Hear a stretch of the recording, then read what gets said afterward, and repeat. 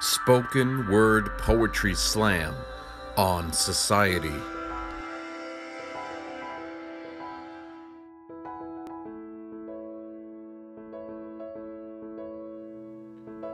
In a trophy town with urban amenities and conveniences abound, a lake sits where status symbols plummet without a sound. Littered with hood ornaments that carry more weight than the car, and a siren printed on coffee sleeves originally meant for good luck for a ship as they travel far. Shiny new toys line the bottom that are embroidered with the fruit from the tree of knowledge, assist in privilege of harvesting an often unfruitful college. The latest desirable supercomputer rectangles go half devoured and litter the bottom of the lake as utility was fleeting, like when self esteem wears off and you start to feel fake from an ego beating. The lake does not run off from the fountain of youth, so see the reflection in the ripples from the lake and reflect on your own truth.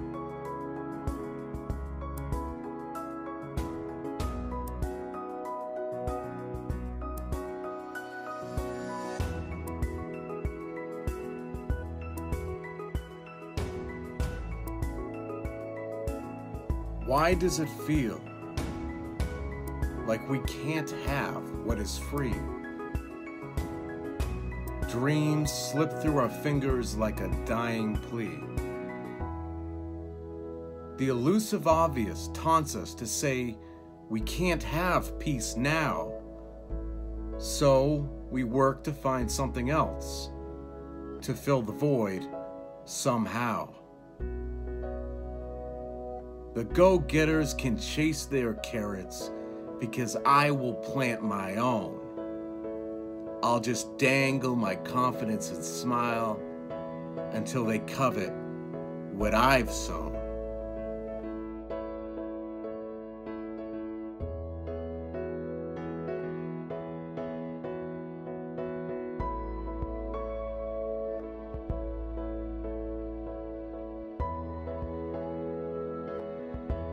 Being first is more important than being true, and an owl is an owl if it feels right to you.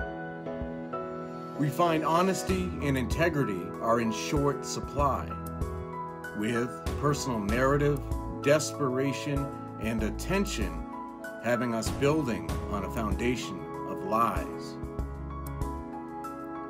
Reflecting on even the most painful truths could allow us to empathize and rise.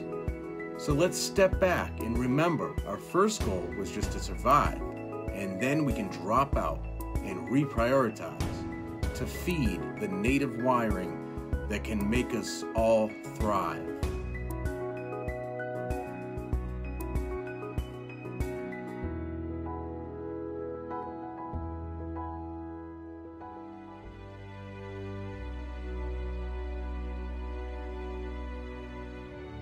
We make kings and queens out of people who live our own dreams, and superstars whom do the grand and impossible, or so it seems.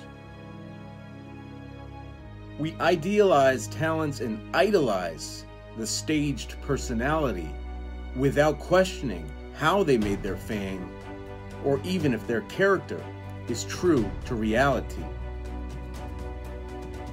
What realized dreams could we create from teams that support us, from which we steal credit and transfer equity to our brand that further distorts us? Why do we respect celebrities with catchy monikers, money, and fame? Because at the end of the day, happiness is relative, and we're all just the same.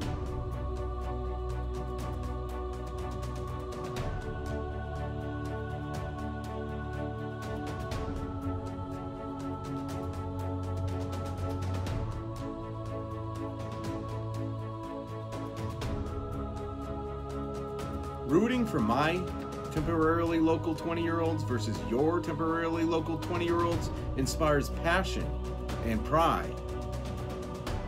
But it can also allow your local sports franchise to profit and hide. Unbelievable markups for merchandise and tickets you can't afford. And the wealthy owners and players need to be reminded to act like the fans are also adored.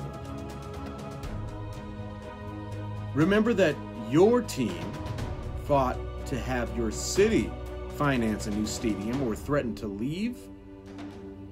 The fans were played as the pawns. Your tax money allowed the deal to finally be achieved. There is nothing wrong with being a fan. I'd be a hypocrite if I tried to make that case. But don't stop believing and rooting for yourself while watching others win first place.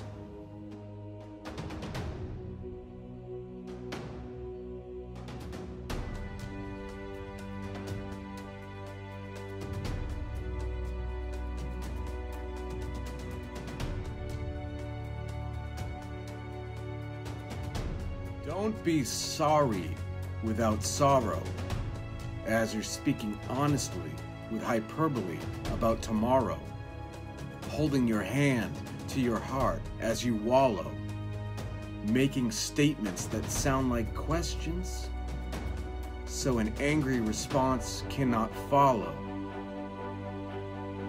It's not about being part of a side that you're choosing and standing up when you're losing but when winning, you're detail cruising because your narrative is an infusion of emotions backed by confusion.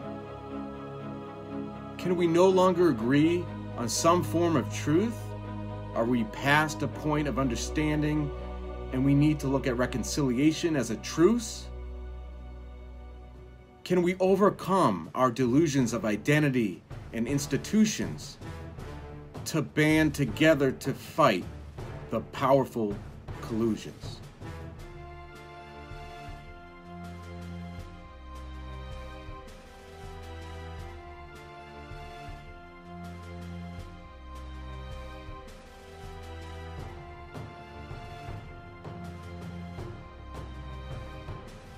Our lives are so busy.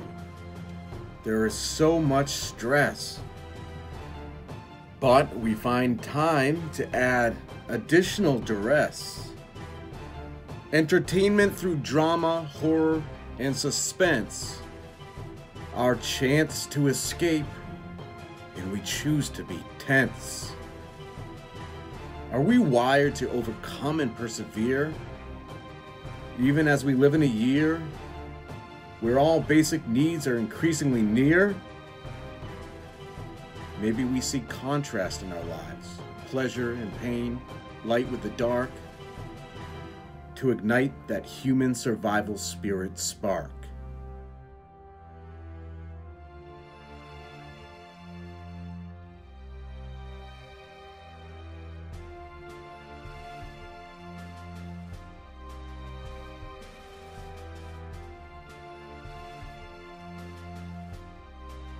A cabin sits upon a newly found lake in a state of freedom which is found behind every philosophical debate. A cold sunset comes with an oddly comforting reminder of inevitable fate in the feeling of frozen ground that can only be punctured with an honest stake seeking desperate refuge by warm fire that rejuvenates the soul. Fiery spirit extinguishes the bitter cold and prepares for what is about to unfold.